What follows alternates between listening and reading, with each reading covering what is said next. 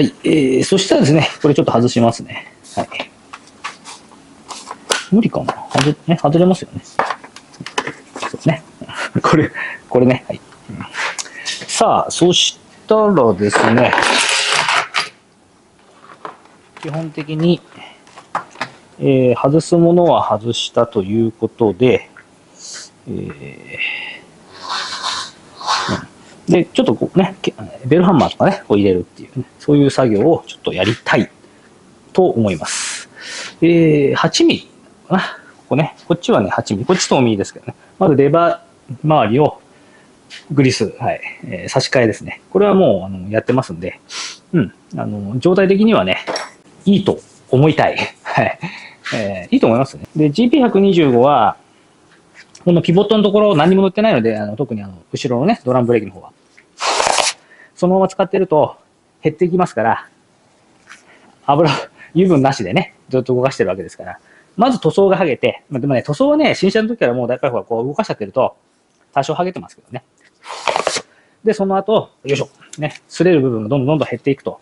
あと、ピボットとこの穴の部分ね、穴が広がってこうガタガタになっちゃうっていうのは、あの、よく原付スクーターでありますよね。はい。よく見る、あの、症状です。はい。ということでね、そういうところにグリスをね、塗るとか、うん。まあそういうちょっと一手間かけてあげることによってですよ。ね、車両も長持ち。で結局、まあレバー交換さえ済むことなんだけど、ね、でもその使ってる間もなんかキッキキッキ言ったりね、動きが悪いとかね、うん、まあそういうこともありますから、やっぱりね、ちょっとこう、やってあげる。それがいいのかなと思いますけどね。どうでしょう。で、こういうのはどうしても手間のかかる作業ですよね。だからグリップヒーターつけるとか、そういうのがあれば開けるんですけど、ただほら、いきなりね、あの、それ、新車の時にやってくれって言っても、お店としてもね、ほら、効率考えなきゃいけない。特に値引きするようなお店ね。うん。あのー、安くして、とにかく大量にいっぱい売んなきゃいけないっていうようなお店だと、ちょっとしんどいんじゃないですか。で、いやー、必要ないと思いますよ、みたいな感じ多分なると思うんですよ。うん。そう。あとはまあ、金額的なものでしょうけどね。ただ効率考えるとね、うん、効率効率ってなんだって思うかもしれませんが、そう。やっぱりそうなんですよ。薄利多売っていうのはそういうことです。はい。一台一台こんなばらしてやってたら、大変なことになっちゃうんでね。はい。ね、こうグリス。これはもう塗ってますからね。はい。で、えー、ちょっと後ろ、少し、もう少し緩めなきゃダメか。で、昨日、後ろはやりましたから、ブレーキは。はい。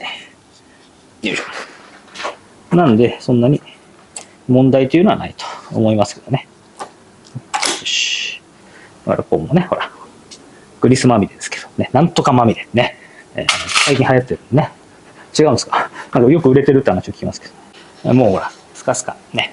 スカスカ感があっていいですよ。やっぱりこうじゃないと、ドラムブレーキはね、えー、ケーブルとかが少し重いとか、そうするともう動きがどんどん渋くなってね、うん、乗ってても気持ちよくないっていうことになりますから、はい、こういうのね、あれなんですよ、それでも、ほら、長い年月かけて、重くてね、で、でそれが普通だと思ってやっぱり乗ってる方結構いらっしゃるんですよ。まあ、やっぱ現実としてね。うん。だけど、本来はそういう、それは、本来の姿じゃありませんよっていうね、うん、ことだと思うんですけど、あれどこ行ったかな？タイラップ。あれ今日月曜日？えー、いろいろちょっと電話したりなんだりっつって、あの、部品とかね、うん、いろいろやんなきゃいけないですね。あ、あとクレームか。鈴木にクレームか。あ、じゃあクレームじゃないや。あれだ、改善対策か。連絡しなきゃ。そう前ね、ファックスくれたんですよ。あの、これで今度から申請してくださいって。で、そしたらすぐ送りますからって、そういうファックスもらったんですけど、そのファックスね、その後ね、ずっと結局ね、リコール、リコールとか改善対策ね、鈴木さんのはなくて、まあいいことなんだけど、うち、まあただうちに入ってこないっていうだけだけどね。うん。で、結局全然あれして、あれどこ行っちゃったかなつって。探したんですけど見つからなくて。はい。結局、あの、ない。そう。だから電話で、うん、電話でお願いしますっていうしかないです。はい、本当はね、販売店がやった方がいいとは思うんですけど、えー、ね、うちらの仕事取るんじゃねえよってってね、怒られそうです。怒んないかな どどっちかっていうとやりたがらない、やりたくないって感じしますよね。リコールね、やっぱでも台数、それ、それぐらい台数が出てるっていうね、ことだと思うんですけど、でも鈴木は、す、やめよう。ダメ。イイメージ的ですよ。イメージですよ、これ。私の勝手なイメージね。私の勝手なイメージだと、あの、鈴木さん、まあ、どこのメーカーもそうかもしれないんだけど、なかなかリコールとかね、そういうの出さないなっていうイメージね。はい。そんなことないですか？そんなことないよね。そんなことはないね。はい。ダメなものはダメなんだね。すぐ対応しますよね。とんでもないこと言ってるのかな、つって。ね。怒られますそうです。はい。えー、ということでね、次。で、これをやってる間に、ディスク側もね、ちょっとやっちゃいます。ブレーキフルードこれ変えた方がいいね。キャリパーやってないな、まだ。キャリパーやってたのが良かったかな。というかやってからね。はいで、こちらも、あの、ディスクブレーキの方はね、製造の過程がちょっと違うみたいで、グリスね、塗ってあったりするんですけど、はい。こちらは、あの、もうこんな感じでね、はい。デロデロになってます。うちでちょっと塗ってる都合でね、デロデロになっちゃう。あ、そういえば、あの、最近、あれですか、ベージュって流行ってるんですかね？ベージュの、あの、服をね、ワンピースだとか、やなとか、着てる女性の方多いですね。はい。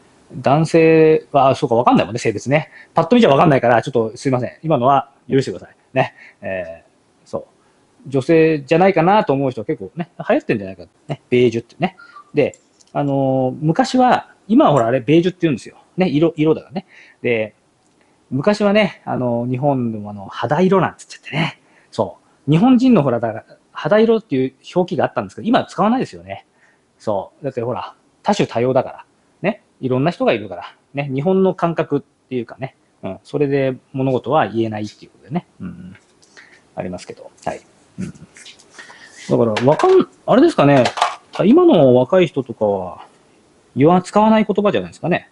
多分ね。うん。多分そんな気がします。はい。そう。今日朝して、ふとトイレでね、あ、ちょっとい、あの、あ、違う、ふズボン履きかと思ったの。ふっと見たら、社会の窓が開いてましてね。やべ、社会の窓全開だね。はい。とふと思ったんです。社会の窓って通じるのかなってね。もちろん、あの、先輩方はよくご存知かと思いますけど。えー、どれぐらいまであの社会の窓ってね。社会の窓が開いてるよ。ね。何なんですか社会の窓っていうのはね。どういう窓なんだってね。思いますけどね。えー、それがね、開いてたんでね。はい。今、今使うのかな社会の窓って。どうなんだろう知らない。ね。そういうのいっぱいありますよね。社会の窓とは何ですかね。まあ、あの、ね、あれで見ればね、ぐ、あのね、そう、Google でね、ちょっとやれば、社会の窓とは、ジッパーのところですっていう表記かな。どうなんだろう見てみないとわかんない。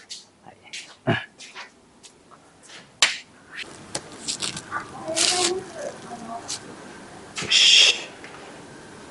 うん。っていう感じでね、はい、えーやってますね。そうですね。ね全開。ね。はいもう死後なのかなね。死後ってありますけどね。社会の窓は死後なのか。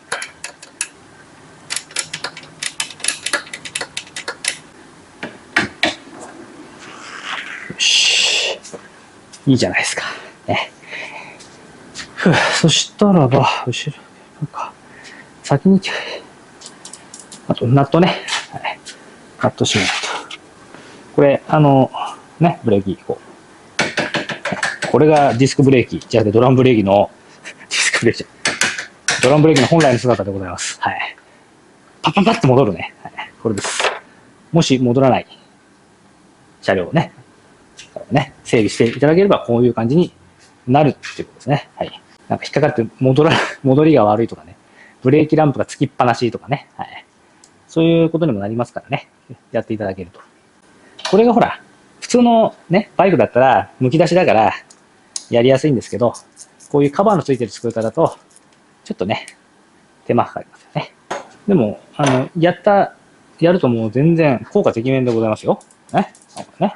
ほら。ねはい。そしたらね、キャリパーをちょっとやってからかな。このままで大丈夫か。ね。ちょっとキャリパーやって、で、ブレーキフルードね、チェンジ。ね。はい。前掛けがね、うん前掛けが邪魔だね。あれ、ここのステッカーなんか剥がれたんだ。これ何が、何、何のステッカーだったんだろう。ザライジング、ザライジングサンコーヒーの下のステッカー何だったかなザライジングサンコーヒー。まず、ブレーキをかく、ホイールの確認をしよう。こんな感じか。見えないね。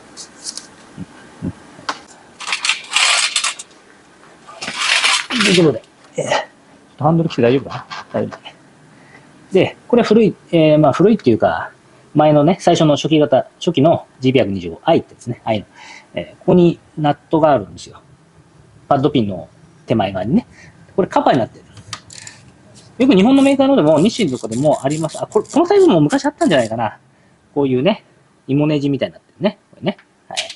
で、カバーになってるんですよ。でよくマイナス切ってなりますよね。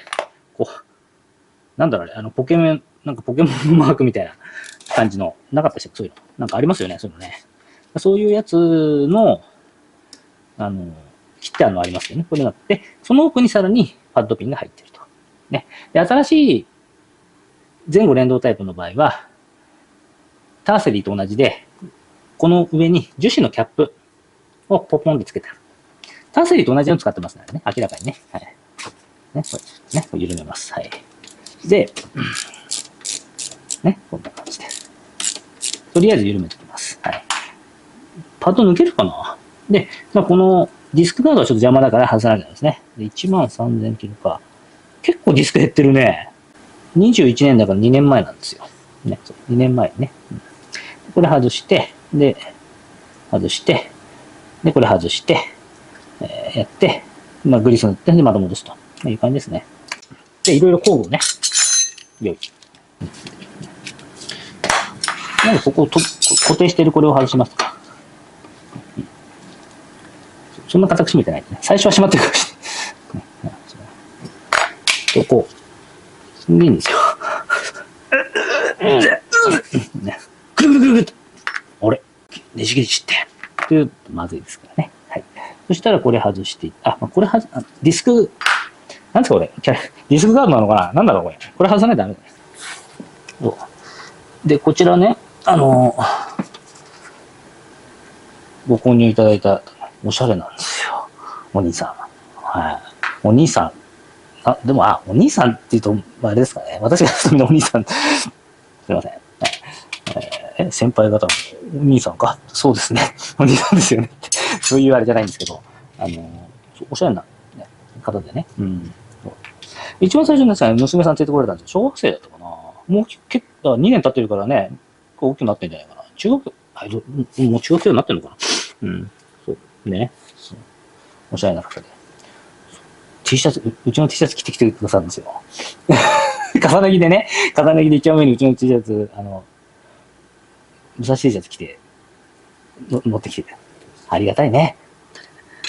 売ってないでしょ、あれ。うん、あの T シャツね。そう、どこでも売ってないから、いわゆるほら、ここでしか、まあ、どこでもじゃない、ここでしか売ってないから、うん、そういうのが気に入っていただいて。珍しいでしょ。うん、で、なかなかね、ほら、まあ、あの、売ってる側が言うのもなんですけど、デザインもね、そんなことない。そんなことない。ね。大きすぎるって人もいるんですけど、ね。あの、ね、あれはデザイナーに気をつけ、デザインしていただいてる。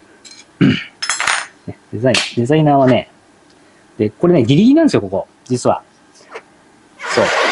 だから、あの、ギリギリの場合は、まああんまこれ、これ綺麗じゃないけど、まあ、には、ね、こういう、テープで養生してもいいんだけど、こういうね、布切を当てて、で、こう抜けばね。これ、かなり減ってるね。ね、こうやってね。はい、こういう感じです。ね。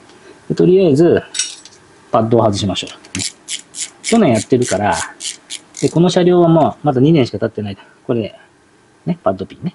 2年しか経ってないから、2年前はもう一番最初でやってると思います。はい。いろいろね、グリス塗ってるんですよ。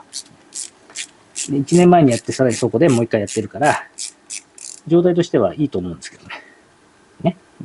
だサビと、サビとかは パッドピンもなかなか出ないよね。グリス塗ってあるからね。パッド、あ、まだ大丈夫ですね。ね。今こうグリスちょっとね、塗ってあるからこうなってますけど。で、えー、そしたらね、ね、すこう動くでしょ？ね、スム、これスムーズに動かなかったらもうダメですね。あと、この、ドイツね、キャリパーの、ドイツが切れてるとか、ひ、ね、ひび割れがどうのこうなんつったらもうちょっとまずいですから、それも、で、これね、えー、サポート。で、えー、まあ、とりあえず、ここで単体になったので、危ないね。で、ちょっとこうね、こう汚れてますよね。うん。で、これちょっとね、こうやってね。こう拭き取るだけで、赤い部分ピカピカね。ね。ね。ほら、ね。なるでしょ、そうとりあえず、あの、パッドスプリング入ってるんで、パッドスプリングちょっと外しましょう。ね。はい、これ裏側。で、これ、こっちにパッドが当たる方ね。汚い真っ黒ですよね。はい。で、これも、えー、こう、拭き取れば。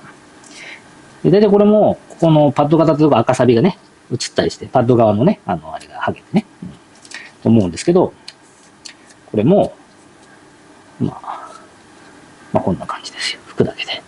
ね。綺麗でしょ？ね。はい。で、それは、あの、グリース塗ってるから。ただそれだけでございます。はい。ね。で、それを、あの、新車の時にやるのが一番いいね。はい。中古だともう錆びてるから、はい。ちなみに並行車だと、新車だと錆びてるけど。錆び取りしてね、その時はね、ちょっとね。うん。で、あと、こういうところも、いわゆるブレーキパッドのあの金属鋼がいっぱいつくんで、なかなか落ちないですよね。はい。これだけで落ちるね。はい。で、パッドピンね。パッドピンも、サビサビになるでしょ。ね。なりますよね。削れてるね。うん。どうしても、やっぱ削れるんですよ。ほら。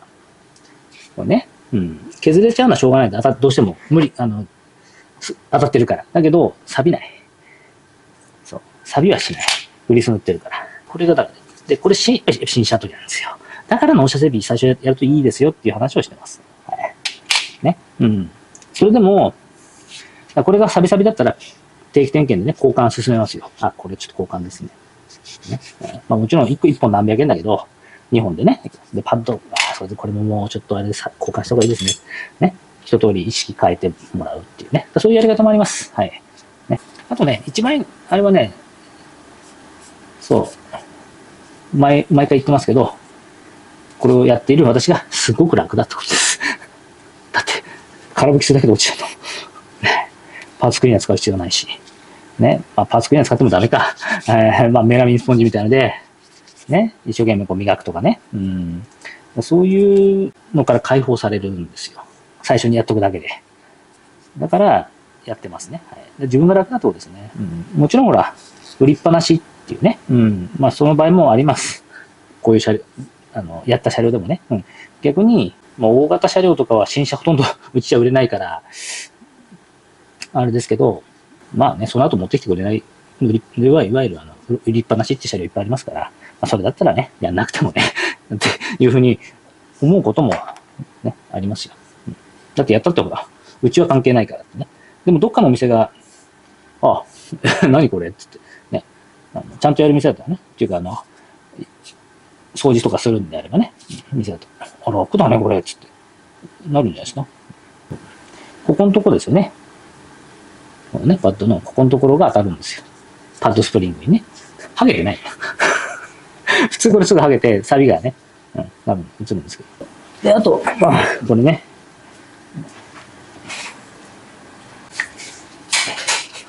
この拭いて、はい。まあ、ちょっとあの、狭いところとかちょっとだできないところもあるんですけど、うんでキャリパーとかも落ちないでしょ。ね。それが楽なんで、ね、こういう部分っていうのは、大型バイクも一番最初にやった方がいいですよね。だああいう趣味的なバイクほどやった方がいいと思うんですよ。うん、本当に。うん。ね。で、あと、このね、うん。あるいはここですよ。うん。結構ピストン錆び、ね、錆びが出てきちゃって、ね、出てくるから、パッドが減ってくると。で、錆びちゃってて、それを、パッド交換の時に、そのまま戻しちゃう普通戻さないですよね。と磨く。で磨いても綺麗にならないですよね、最終的に。あの、やっぱりね、メッキの内側から錆びてきてるから。